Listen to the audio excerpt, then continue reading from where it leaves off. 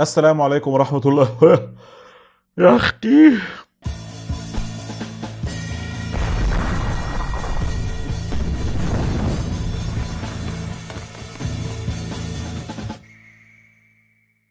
أهلا بالموت على إيد واحد حقير زيك.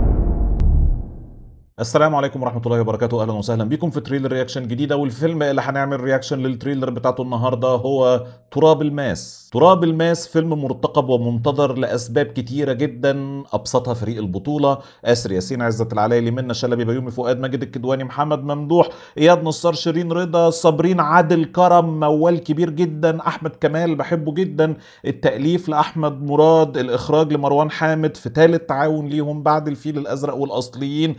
والاهم من ده كله إن الفيلم مأخوذ عن رواية تراب الماس لأحمد مراد اللي كانت مكسرة الدنيا و best seller وحاجات كتيرة قوي. والسبب الأخير اللي هو الأهم ده هو أقل سبب بالنسبة لي أنا شخصيا لإني ما قريتش تراب الماس والحقيقة كمان ما قريتش أي رواية لأحمد مراد. فده ليه جانب سلبي إني مش عارف إيه اللي حصل وإيه اللي دار في الرواية واللي أظن إن كتير من حضراتكم هيبقوا مهتمين بيه حتة المقارنات وكده. ولكن على الجانب الإيجابي أنا راجل بستقبل الفيلم فقط لا غير ومليش أي دعوة بالماده الأصلية فحتى في وسط التريلر لما تلاقوني بسأل أسئلة إجابتها بديهية بالنسبة لكم معلش أنا جاي من الجانب الآخر للعالم. وكالعادة عموما ما شفتهاش ولا مرة هشوفها معاكم دلوقتي لأول مرة فيلا بينا.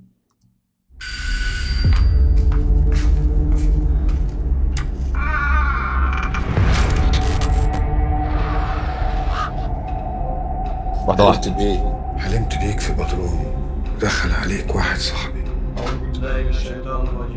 خدك من إيدك. رحت مشوار مع بعض لقيتك واقع قدامي بالشقة وبركة دم تحت دماغك. ده كلام فارغ عايزين نخلص من حد أذانا كلنا. جبت اسمي في التحقيق يا أنا مش هسكت القانون ما بيحميش غير اللي ليه ظهره بس. طبعا. ما أنت مش في اي بي عنصر. إحنا ليه ما بنتجوز؟ انبسط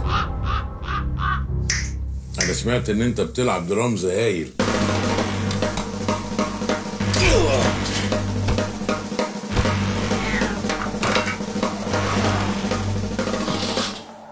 حلمت لك حلم عيان أنا بتعالج.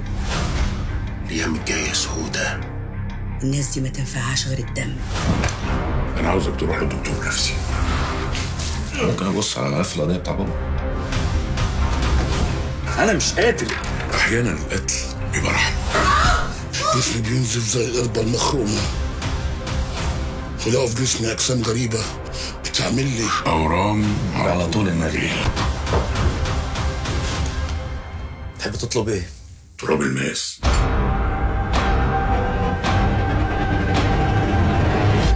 أهلا بالموت على إيد واحد حقير زيك. طيب إحنا إيه بقى؟ عايزين نتفرج على ال trailer. هو إيه في إيه؟ وإيه فودافون؟ وإيه هو؟ هو مين مع مين؟ ومين جاي فين؟ ومين عاوز إيه؟ وإيه الموضوع؟ دي trailer؟ أمال ال teaser تبقى إيه؟ ده حتى ك teaser يعني إيه يا جماعة التسرع ده؟ في إيه؟ إيه بقى مين اللي عامل ال trailer دي مؤمن زكريا؟ ما واحدة واحدة نفهم حاجة. ما فهمش أي حاجة فهمش أي حاجة. شفت ممثلين وشفت إيقاع عمال يجري يجري يجري يجري وفي درامز وفي دم وفي قتل وفي ماجد الكدواني تقريبا وفي فودافون ده اللي أكيد و... فهمش أي حاجة. يعني يمكن تكون ال trailer معتمد على إن كل الناس شاف قرت الرواية فعمالة تدور على العلامات اللي هو فاكرها من اللي هو قراه أو الصور الذهنية اللي هو كونها. ده شيء كويس جدا للناس اللي قروا الرواية بس في بشر تانيين أنا أحب إن أنا أعتبر نفسي شخص يعني.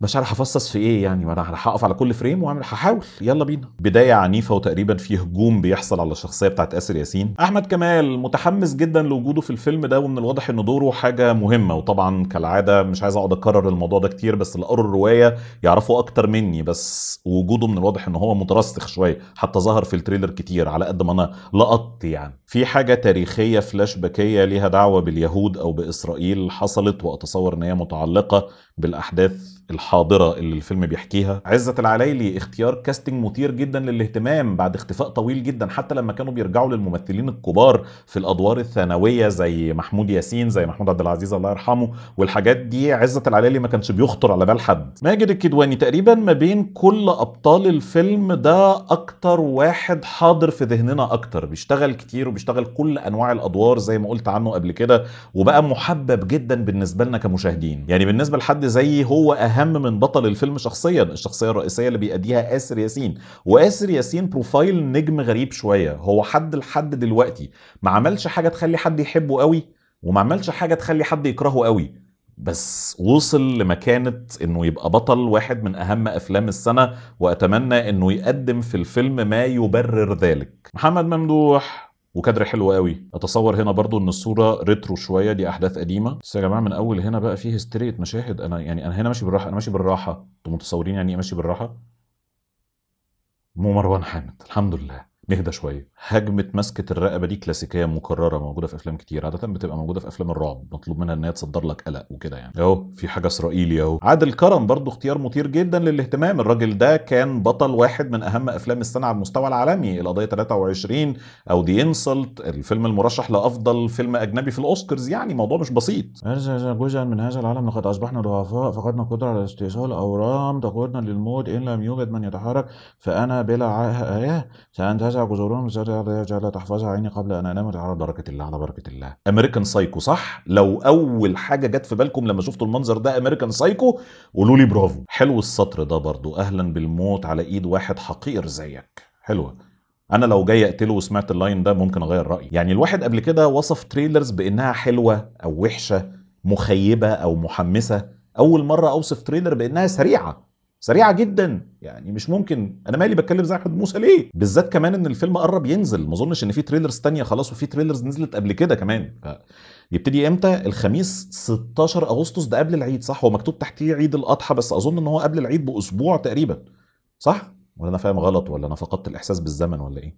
لو لو اللي أنا بقوله صح فهي حركة صايعة جدا وجامدة جدا. قبل الزحمة يلحق يجيب word of mouth والناس تعمل له شوية دعاية شعبية لو هو بيوفي الوعود اللي الناس مستنياها تبقى حركة في الجون. أظن إن الفيلم ده محتاج يخفف التعقيدات شوية ما يبقاش على نفس المستوى التعقيد بتاع فيلم الأصليين. فيلم الأصليين عجبني بس بصراحة ما أحبش أتفرج على اتنين أصليين ورا بعض. والناس برضو اللي عارفة النص الأصلي ممكن تحكم على الموضوع ده أكتر مني شوية. هل ينفع يقرب شوية من جمهور العيد ما بتكلمش على جمهور العيد بتاع الأفلام الخبط والرزع والكلام دوت بتكلم على الناس اللي زينا كده عايزين ينبسطوا لو ينفع يعني. عموما حلو جدا إن هو هينزل قبل زحمة العيد وهحاول أشوفه في أسرع فرصة وأعمل له مراجعة على طول ونسبة ترقبي ليه هقول 8 ونص من العوامل الأخرى اللي حواليه بصرف النظر عن ال trailer لأن ال trailer بالنسبة لي أنا ملهاش أي تأثير على الترقب. بس كده ده رأيي في ال trailer ودي نسبة ترقبي للفيلم. اللي اهم منها هو رأيكم ونسب ترقبكم.